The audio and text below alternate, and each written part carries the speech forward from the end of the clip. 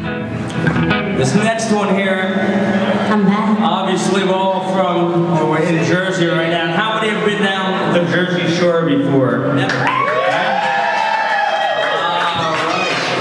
Well, this next one brings back all the memories of the Jersey Shore and all the good times of it. It is called Carnival Dreams.